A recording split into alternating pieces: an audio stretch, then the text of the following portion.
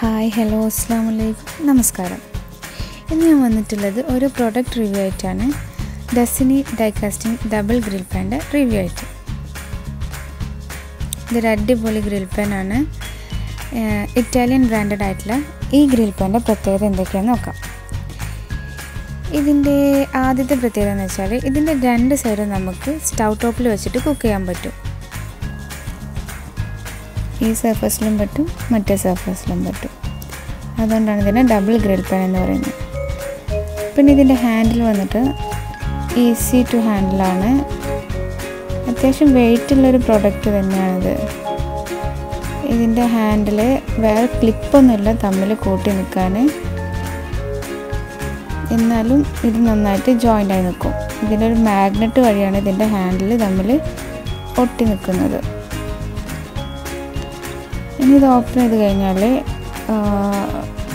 ഇതിനെ നല്ല ടൈറ്റായിട്ട് നിൽക്കാൻ വേണ്ടിയിട്ട് തന്നെ ഇതിന്റെ മുകളിലത്തെ സർഫസിനോട് കൂടിയിട്ട് ഒരു വാഷറുണ്ട് പിന്നെ നമുക്കിതിന്റെ കൂടെ തന്നെ ഒരു എക്സ്ട്രാ വാഷറും കൂടെ കിട്ടുന്നതാണ്.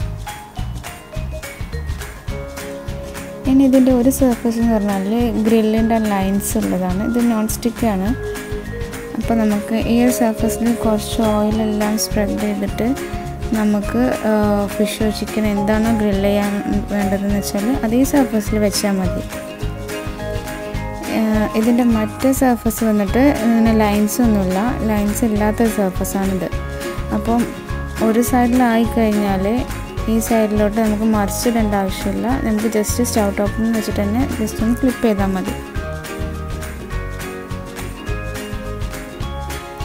ഇനി ഇതിന്റെ ഹാൻഡിലിന്റെ പ്രത്യേകത എന്ന് വെച്ചാൽ രണ്ട് ഹാൻഡിലിന്റെയും ടിപ്പിൽ മാഗ്നറ്റ്സ് ഉണ്ട്. അതുകൊണ്ട് തന്നെ ഇത് തമ്മിൽ ക്ലോസ് ആയി നിൽക്കാൻ വേണ്ടിയിട്ട് വേറെ ക്ലിപ്പൊന്നും വേണ്ട. ഈ മാഗ്നറ്റ് വഴി ഇത് നന്നായിട്ട് സ്റ്റിക്കായി നിൽക്കും ഈ ഗ്രിൽ പാൻ ഏകദേശം തേർട്ടി സിക്സ് സെന്റിമീറ്ററാണ് ഇതിന്റെ സൈസ്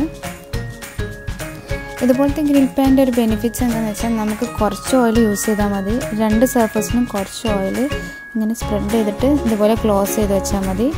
എന്നിട്ട് അതിലുള്ള ഫിഷോ ചിക്കനോ ഒറ്റക്കെടുത്ത് മറിച്ചിടുന്നതിന് പകരം നമ്മൾ സ്റ്റൗ ടോപ്പിൽ വെച്ചിട്ട് തന്നെ ഈ പാന് ഫ്ലിപ്പ് ചെയ്താൽ മതി.